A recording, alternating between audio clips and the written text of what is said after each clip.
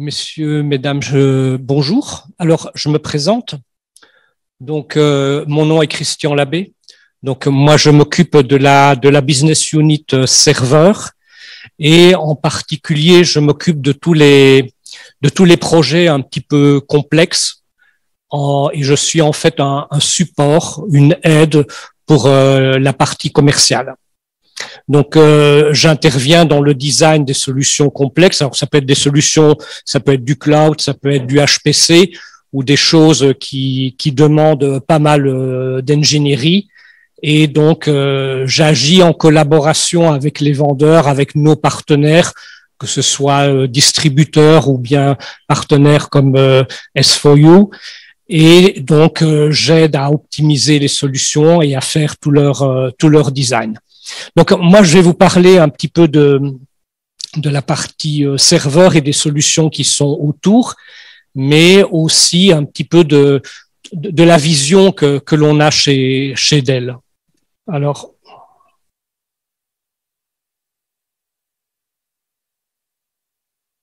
ça passe pas. Ah, c'est passé. OK.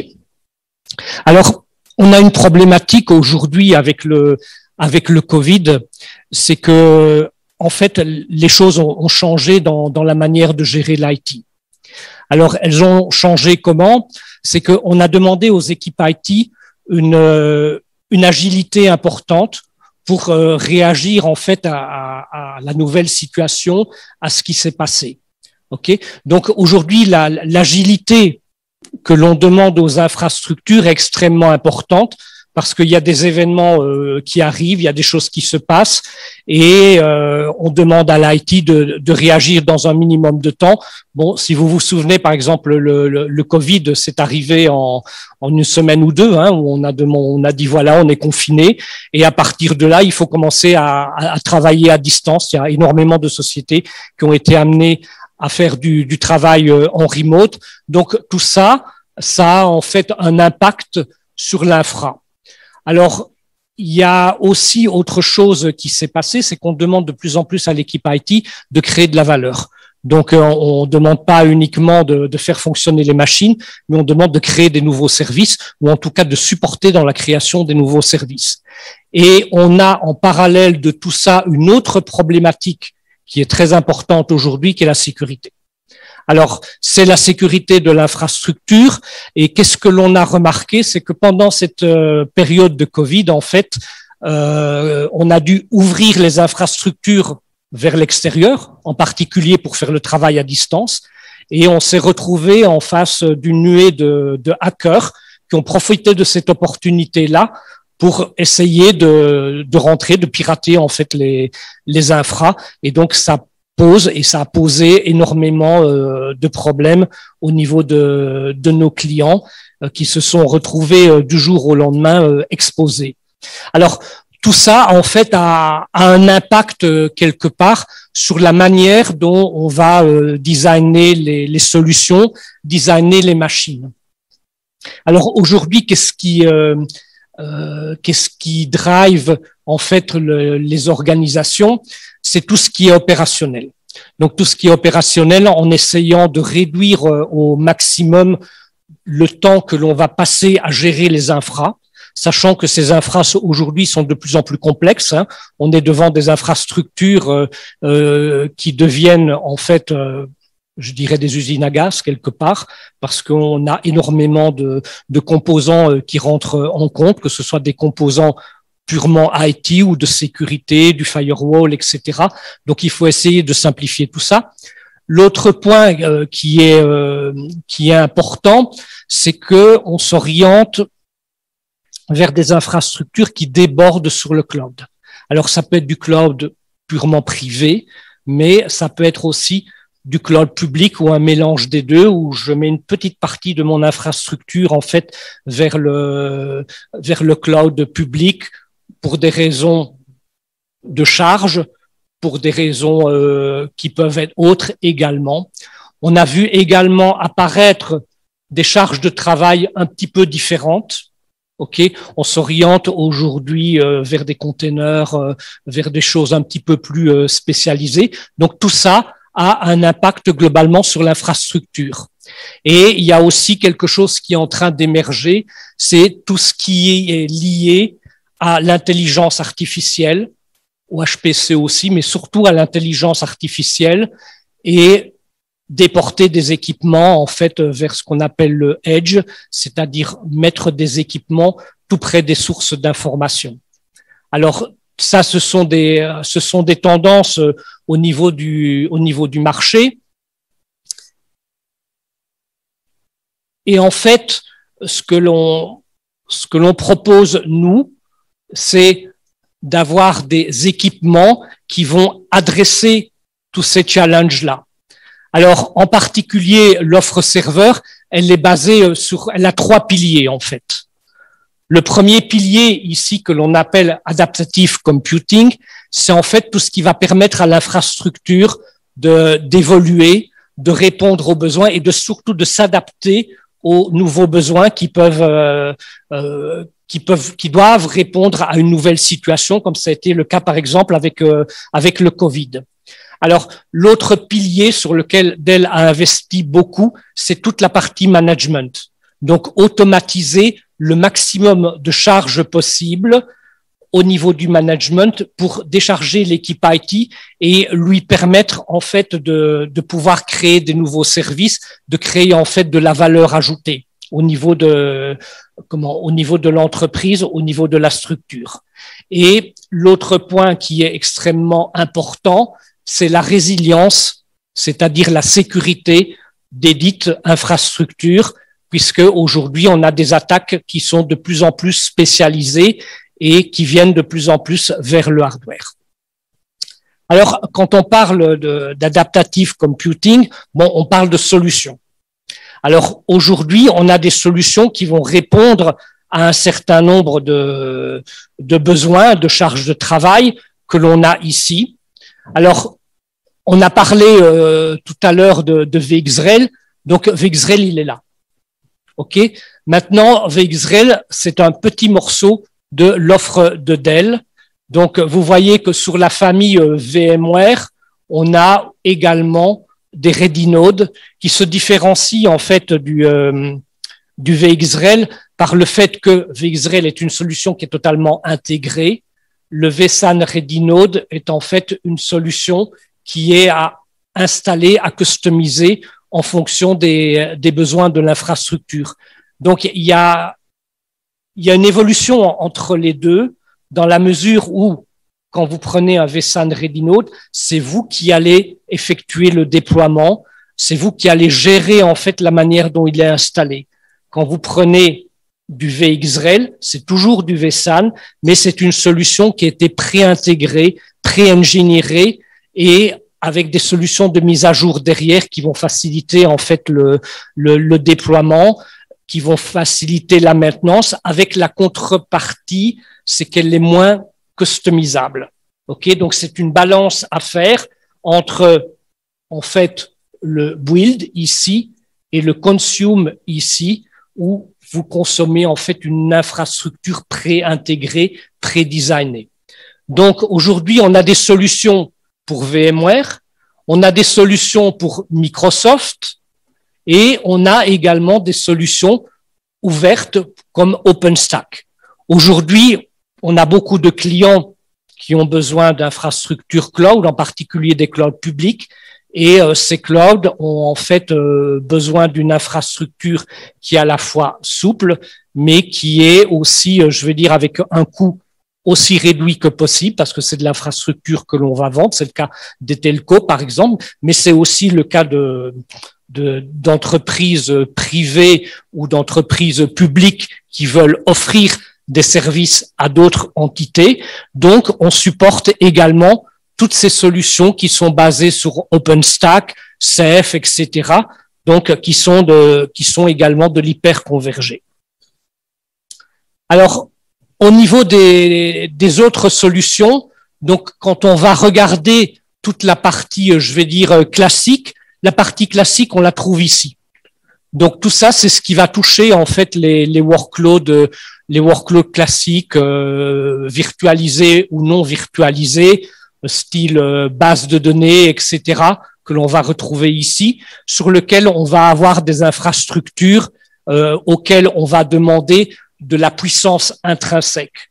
C'est-à-dire que je peux me retrouver, par exemple, avec un, système qui tourne sur euh, Sapana. Alors, euh, Sapana, ben, ça va demander quoi? Ça va demander énormément de, ressources processeurs et encore plus de ressources mémoire.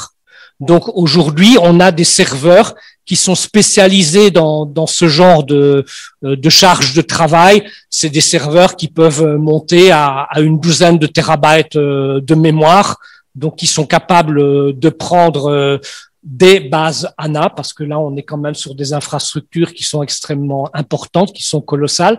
Donc, on a des serveurs qui sont un petit peu spécialisés là-dedans. On a également des, des serveurs qui vont être spécialisés dans tout ce qui est intelligence artificielle, etc. ça va être des serveurs qui sont capables de supporter de multiples GPU et donc qui vont euh, qui vont permettre de donner une puissance importante pour tout ce qui est analytique pas seulement HPC, mais analytique. Alors, on va retrouver de l'analytique dans quoi? Euh, On retrouve aujourd'hui énormément de demandes dans tout ce qui est fraude management. Alors, ce n'est pas seulement les banques, euh, ça peut être aussi euh, fraud management euh, euh, au niveau des au niveau des telcos, au niveau des entités euh, qui vendent ou qui délivrent quelque chose. Bon, je vous ai dit, il y a énormément d'attaques de, hackers euh, qui se passent, mais il y a également énormément de fraudes qui se font. Ok, si vous regardez par exemple, euh, qu'est-ce qui se passe aujourd'hui euh, euh, avec le, le, Covid, c'est que vous allez vous retrouver en face de plus en plus de sociétés qui font du business en ligne. À partir du moment où on fait du business en ligne, potentiellement, il peut y avoir des fraudes fraude au paiement, etc.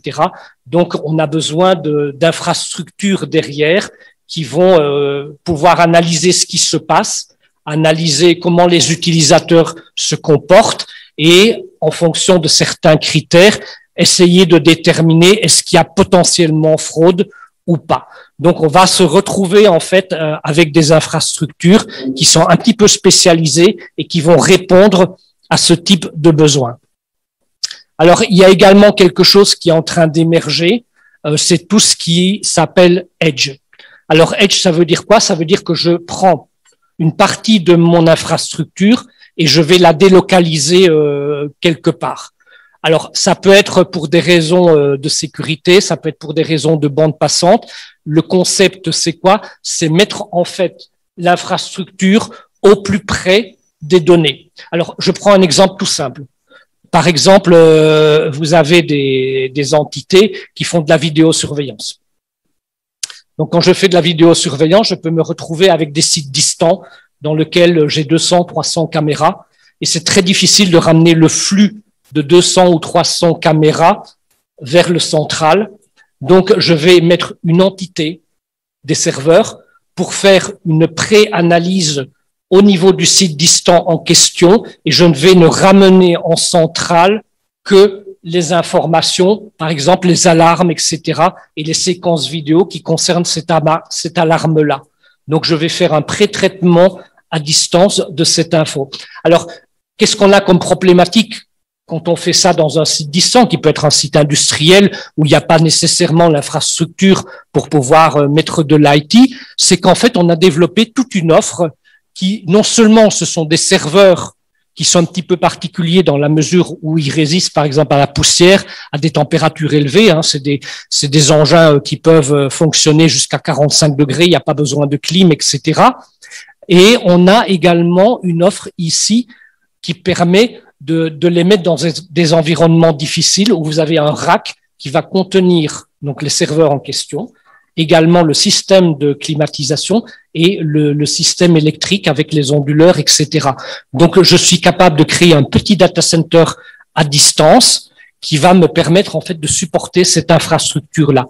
Donc, c'est une offre complète qui déborde en fait des serveurs vers, je vais dire, toute l'infrastructure qui permet de les supporter à distance. Alors, on a également chez Dell toute une offre réseau. Donc, on n'a pas uniquement toute la partie serveur, la partie stockage, mais on a également une offre réseau euh, qui est complète, qui couvre tous les besoins et euh, qui vient en, concurrence euh, directe des, des, grands acteurs du marché. Bon, comme Cisco pour pas les pour pas les citer. Et donc aujourd'hui, on est extrêmement présent également sur cette partie-là puisque on a une offre au niveau euh, donc euh, tout ce qui est euh, switch Ethernet, que ça aille des, switches d'accès aux switches de data center. Alors on a des switches qui sont extrêmement puissants, on a des switches qui supportent aujourd'hui des interfaces à 400 gigas. Ok, je dis bien 400 gigas par interface, 32 interfaces. Donc ça peut être des infrastructures qui sont extrêmement puissantes. On va très très haut. On a également une excellente offre dans tout ce qui est SD1. Alors SD1, ça sert à quoi? Ça sert à optimiser et à sécuriser des infrastructures distantes. Donc je mets des boîtiers à chaque bout, un dans le data center principal et un à distance. Donc il va réguler les flux, il va optimiser les flux, mais il est également capable d'assurer la sécurité de bout en bout, c'est-à-dire de se comporter un petit peu comme un firewall euh, vis-à-vis de l'infrastructure distante. Donc euh, c'est des systèmes qui sont euh, qui sont complets. On a également toute la partie wireless, point d'accès Wi-Fi, etc. Et tout ce qui est euh, réseau défini par logiciel, puisque quand on crée des, infrastructures virtuelles, ça ne va pas uniquement vers la, partie compute, mais ça déborde également vers tout ce qui est réseau. Donc, je peux créer des tenants dans mon infrastructure le tenant étant composé de toute la partie serveur, stockage, mais également du réseau. Alors, maintenant, on arrive à l'automatisation. Donc, comme je l'ai dit tout à l'heure, on a un investissement extrêmement important de Dell à ce niveau-là, où on a essayé en fait de, réduire les, tâches, de simplifier les tâches de management, mais également du cycle de vie euh, des serveurs. Donc c'est basé principalement sur deux composants, l'IDERA qui se trouve sur la carte mère des serveurs et une partie logicielle qui s'appelle Open Manage. Alors Open Manage, qu'est-ce qu'il va gérer? Il va gérer en fait tout le cycle de vie du serveur en démarrant de l'installation, de la mise à jour des drivers logiciels, et tout ce qui est en fait remontée d'alarme et prise de décision par rapport à ces remontées d'alarme. Alors, quand je dis prise de décision par rapport aux remontées d'alarme, qu'est-ce que ça veut dire? Ça veut dire que en fait, euh, je suis capable, à partir de Open Manage, par exemple, d'envoyer des messages à l'équipe IT ok, par WhatsApp sur mon euh, sur mon portable, etc. Mais le système est capable d'appeler le support de Dell de manière autonome, avec toutes les autorisations que vous pouvez lui donner, bien sûr. Ok, donc il y a des, vous pouvez fixer des contraintes et des limites, mais vous pouvez demander à l'infrastructure, au serveur qui a un problème, d'appeler directement le, le service de Dell. Il va créer le ticket. Les gens de Dell vont pouvoir se connecter sur l'équipement, faire le diagnostic, éventuellement envoyer une pièce détachée euh, sur place, etc. Et en tout cas, gérer totalement le, problème de, manière euh, autonome. Donc, on va avoir un certain nombre de modules de plugins que vous avez euh, ici. Donc, j'ai parlé d'Open Manage Mobile. J'ai parlé du support Assist, donc qui appelle automatiquement le, le, support Dell. Et puis, on va trouver un nombre de plugins qui vont s'intégrer à des systèmes existants, en particulier les, hyperviseurs. On a également des plugins aujourd'hui pour manager la puissance des machines.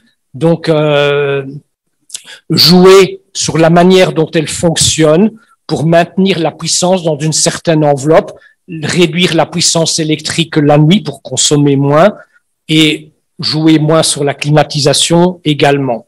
Alors, la particularité en fait de, de ce produit d'Open Manage, c'est que le même produit peut gérer aussi bien les serveurs que les switches, certains systèmes de stockage et des infrastructures qui ne sont pas d'elles. C'est-à-dire, je peux télécharger des, des, des MIB sur, euh, sur Internet pour gérer du HP, de l'IBM, etc.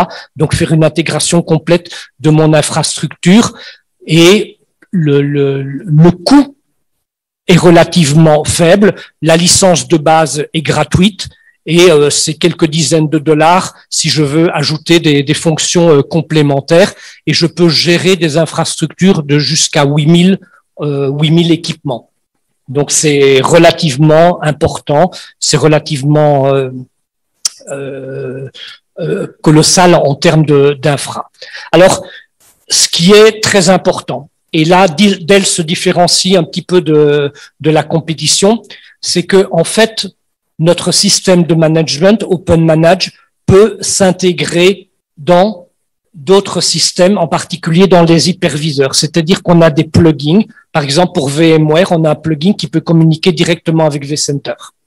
Alors, ça permet de faire quoi? Ça permet de gérer en fait l'infrastructure directement à partir de la console de VMware, sans devoir rentrer dans une console spécifique d'Open Manage.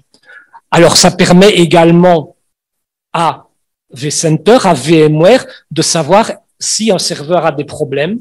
Et si ce serveur a des problèmes, je peux le vider des machines virtuelles de manière à prévenir en fait une panne de ce serveur-là. Donc je peux anticiper la panne du serveur avant qu'elle arrive parce qu'il va y avoir une communication entre l'hyperviseur et le, le, système de management des serveurs ou bien du réseau. Alors, ça fonctionne dans l'environnement VMware, ça fonctionne dans l'environnement Microsoft et ça fonctionne dans l'environnement Red Hat.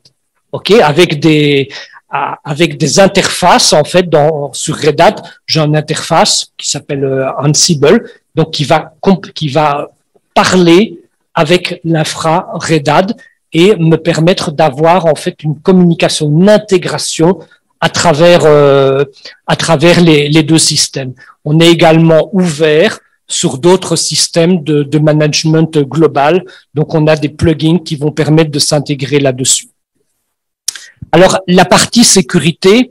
Donc, la partie sécurité, c'est un point sur lequel on a investi beaucoup parce que, en fait, ce que l'on a remarqué, c'est que les, hackers, vu la performance aujourd'hui euh, que l'on a au niveau des, logiciels antivirus, etc., essaye de rentrer sur le bas niveau des serveurs pour créer des portes qui vont leur permettre en fait d'accéder à l'infrastructure. Donc, euh, on a mis en dehors des systèmes de protection euh, classiques, verrous et tout ça sur, le, sur les systèmes, au niveau du BIOS, on a un système qui est un petit peu de l'intelligence artificielle qui regarde ce qui se passe et s'il détecte qu'il y a sur le BIOS des modifications qui sont supposées ne pas être demandées par le, management du système, il va le bloquer. Donc il va bloquer l'accès, il va envoyer des messages sur la console en demandant est-ce que cet accès est licite ou pas, et donc, euh, le, système est capable de, de s'auto-protéger, ok, à travers de, de ces attaques-là, donc de les prévenir, mais également de les bloquer. Ok? L'autre point, c'est que si finalement l'attaque aboutit, on est capable de restaurer en fait l'environnement du serveur. Donc, admettons que le, système malveillant a réussi à attaquer le BIOS, a réussi à le modifier d'une certaine manière, ou même a réussi à aller attaquer le noyau de l'operating system, le boot qui est sur le disque, on a un système qui permet de restaurer l'état initial du serveur, c'est-à-dire qu'on a des copies cachées au niveau d'une mémoire qui se trouve sur la carte mère et que l'on peut restaurer à la demande pour pouvoir revenir à l'état initial du serveur avant l'attaque. Alors, tout le monde est à peu près capable de restaurer le BIOS, mais on est les seuls euh, donc euh, à pouvoir restaurer également le noyau de l'operating system. Donc, le serveur ayant été attaqué, détruit, rendu inopérationnel, on est capable d'aller restaurer cette image BIOS et operating system. Ça permet également de faire du, euh, du déploiement multiple. Admettons que vous ayez 50 serveurs à déployer qui ont la même image. Je peux en installer un, je prends cette image et je la redéploie sur les autres en, quelques minutes en fait, puisque c'est le système qui va automatiser ce déploiement-là, et je peux après aller juste customiser, par exemple, les adresses IP ou les choses particulières du serveur, mais je n'ai pas à me retaper, entre guillemets, l'installation des serveurs un derrière l'autre. Donc c'est tout un système qui est extrêmement euh, complexe, extrêmement performant et qui permet de répondre donc euh, à ces besoins de, sécurité que l'on a euh, aujourd'hui. Alors j'ai parlé de, de, nouvelles technologies, donc je vous donne quelques slides donc sur ces, ces nouvelles technologies. Vous savez probablement que Intel et AMD en même temps ont renouvelé toute leur offre de processeurs. Donc, euh, du coup, ben, en fait, on a aujourd'hui des, nouvelles machines qui sont euh, qui sont arrivées, en tout cas qui qui arrivent. Alors, ce sont des machines AMD, ce sont des machines Intel, puisque les deux les deux fabricants de processeurs ont en fait fait la la mise à jour de, de leur système euh, à peu près dans dans la même période de temps. Alors, attention, ça ne rend pas obsolètes les machines existantes. Aujourd'hui, par exemple, ce que Intel sort, ce sont des processeurs qui sont extrêmement puissants. Donc, vous savez que sur la, la génération existante, par exemple, on, allait jusqu'à des processeurs de 28 cœurs. OK Aujourd'hui, Intel a dépassé les, les 30 cœurs. Ok, on peut monter sur des CPU à plus de 32, 40 cœurs, etc. Donc, ce sont des machines qui sont extrêmement puissantes et Intel a sorti uniquement ces processeurs-là. Donc, la nouvelle génération de serveurs qui vient de sortir maintenant et qui sont dans cette slide, qui s'appelle 15e euh, génération chez nous, ne rendent pas obsolète ce qui est existant. Ok, donc ça va cohabiter, les, deux générations vont cohabiter pendant euh, un an ou un an et demi au moins, en attendant qu'Intel et AMD sortent en fait les, processeurs, je vais dire, euh, de moyens et d'entrée de gamme. Ok? Alors ces nouveaux équipements, donc ça couvre les serveurs classiques, mais également des, des serveurs spécialisés comme les C-Series qui sont spécialisés dans le HPC et également des, des systèmes modulaires, c'est-à-dire tout ce qui est euh, bled, etc. Donc, euh, qui ont été euh, mis à jour avec ces nouvelles technologies-là, plus certains serveurs spécialisés, en particulier ceux qui qui possèdent des GPU et des serveurs qui sont dédiés pour le edge que vous trouvez euh, donc euh, euh, en haut à, gauche de la slide et qui sont des, des serveurs qui peuvent supporter en fait des environnements qui ne sont pas des environnements de de l'IT donc ça résiste aux poussières ça résiste aux températures etc alors tout ça donc va venir compléter la gamme que l'on a aujourd'hui. Et donc ce qu'il faut savoir sur cette gamme, c'est que il y a des nouvelles technologies qui sont liées à ces nouveaux processeurs-là. Donc c'est pas simplement je prends le nouveau processeur et je le plug sur la carte mère euh, donc euh, de la quatorzième génération, ça ne marche pas. Pourquoi? Parce que en fait, on a des changements technologiques importants. Le premier changement technologique important que l'on a, c'est qu'on est passé du PCI 3 au PCI 4. Donc ça veut dire concrètement qu'on double la vitesse des slots PCI. Alors, euh, l'intérêt, c'est quoi? C'est qu'aujourd'hui, par exemple, on a des interfaces réseau qui vont de plus en plus vite. On a des interfaces réseau aujourd'hui qui supportent 200 gigas, ou bien deux portes de 100 gigas. OK? Alors ça, ça existe, ça se met sur les serveurs. Le problème du PCI 3, c'est qu'on ne peut pas dépasser un débit de l'ordre de 120 gigas.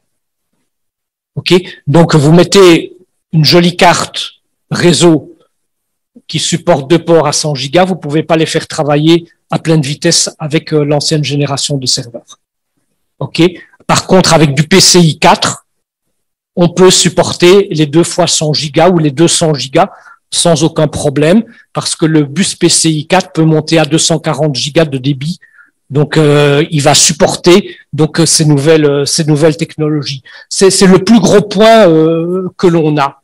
L'autre, c'est en fait les capacités mémoire que l'on peut supporter.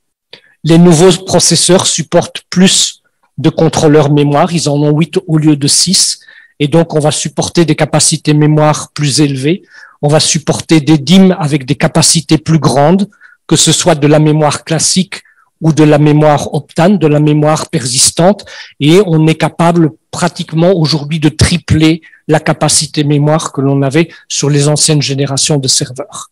Ok, donc ça c'est les gros points euh, technologiques. Maintenant, au niveau de ce qui est spécifique à Dell, on a développé des contrôleurs qui permettent aujourd'hui de faire du RAID sur les disques NVMe. Alors, les disques NVMe, donc, ce sont des disques qui se connectent directement sur le bus PCI de la machine.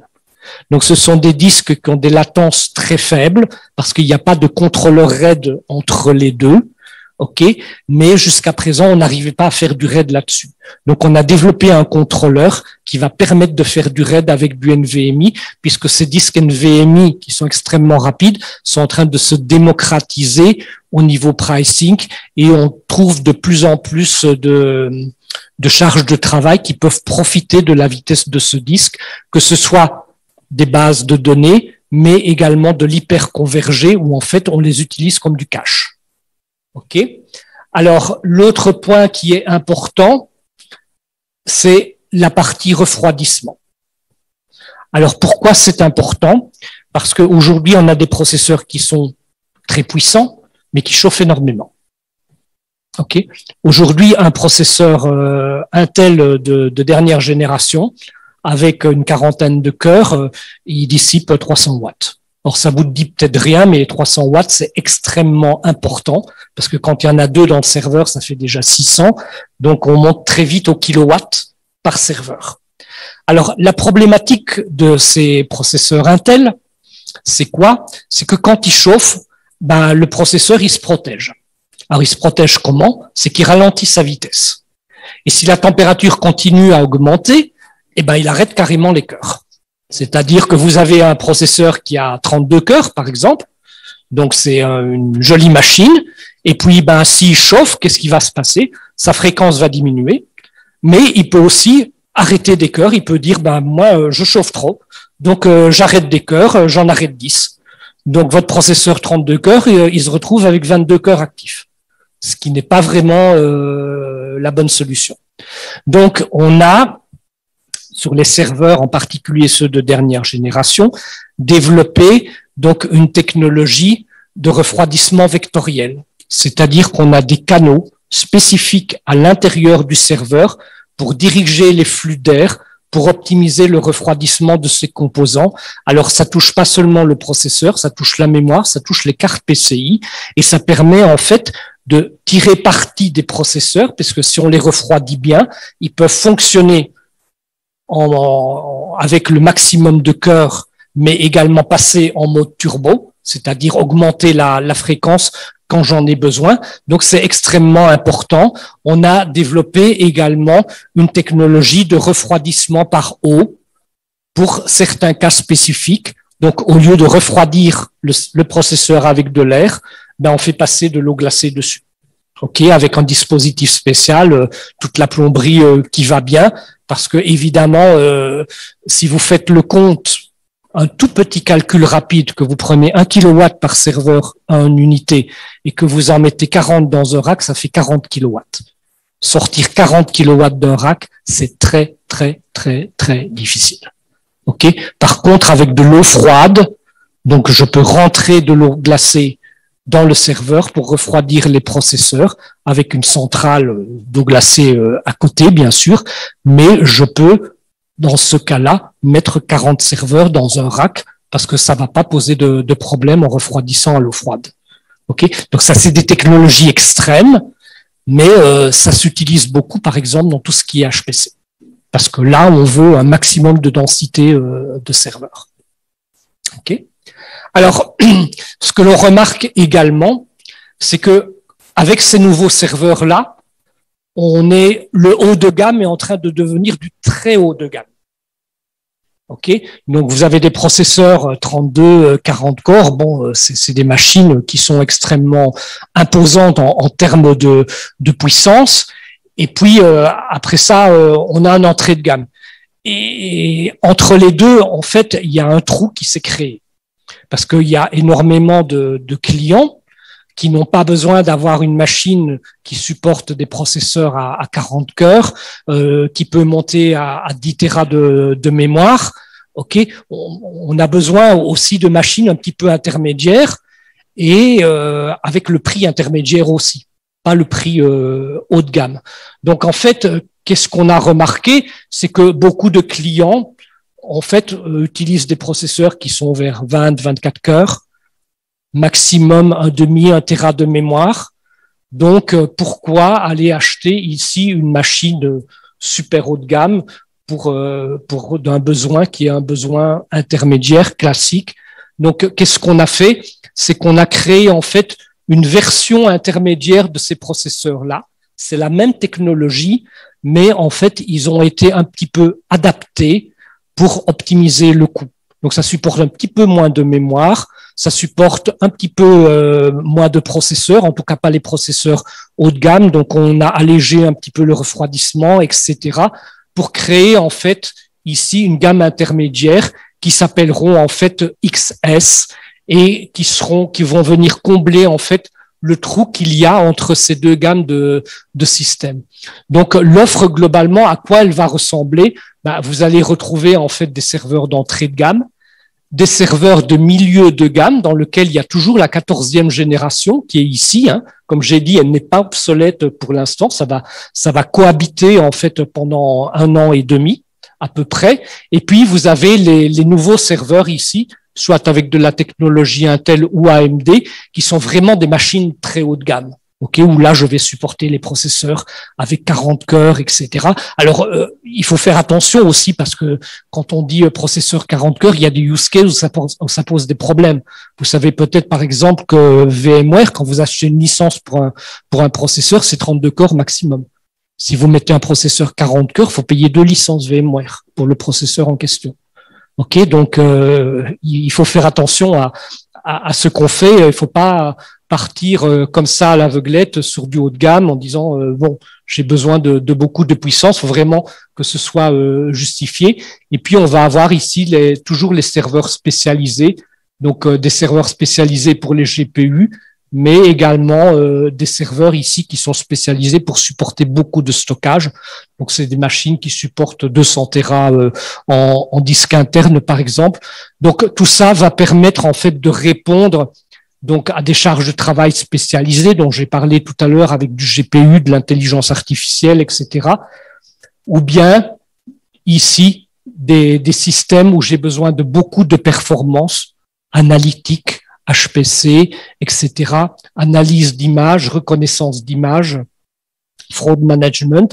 Et puis là, en intermédiaire, je vais retrouver en fait les charges de travail un petit peu plus classiques ce que l'on retrouve habituellement dans, dans un data center, je vais dire standard, et bien sûr des serveurs d'entrée de gamme pour toutes les, les fonctions, euh, fonctions accessoires. Donc tout ça, en fait, nous, nous permet aujourd'hui de, de nous positionner avec une offre complète, que ce soit donc au niveau matériel, mais également des, des solutions. Hein parce que les, les solutions que j'ai euh, présentées euh, au départ sont des solutions en fait qui ont été pour la plupart ingénierées, donc testées au niveau des, des labs euh, chez Dell. Donc par exemple, vous prenez une infrastructure OpenStack. ok? Donc aujourd'hui, on a des benchmarks qui ont été faits avec des infrastructures type. Donc vous venez vers nous, vous, nous dites voilà, moi je veux créer un, cloud que je vais partager avec d'autres euh, en public ou bien en interne sur d'autres infrastructures. Si vous êtes un ministère, par exemple, vous pouvez avoir d'autres infrastructures à côté et partager ce cloud. Et puis vous dites bon ben voilà, je vais avoir autant d'utilisateurs, telle charge, etc. On a donc des benchmarks qui sont faits sur des infrastructures types que l'on peut reproduire et que l'on peut adapter à vos besoins on va connaître exactement le type de performance que l'on peut en tirer et on va pouvoir également le customiser à votre besoin et l'adapter exactement à ce que vous voulez faire. OK? Alors tout ça en fait a fait que le, résultat global, c'est qu'on se positionne aujourd'hui en tant que constructeur pratiquement euh, numéro un. Alors, c'est pas seulement au niveau euh, worldwide, mais si vous regardez un petit peu euh, ce qui se passe au Maroc, vous voyez que depuis 2018, on a pris définitivement la, première position en fait au niveau du, classement IDC. Donc, dû en fait à la manière dont, on travaille, la manière dont on design nos solutions et l'offre que l'on a, qui est une offre qui est complète et que l'on adapte aux besoins de, de nos clients. Donc c'est un petit peu le, le résultat de tout ce travail qui a été fait au niveau de Dell et également au niveau des équipes euh, ici euh, en local. Donc j'en ai terminé, je vous, je vous remercie.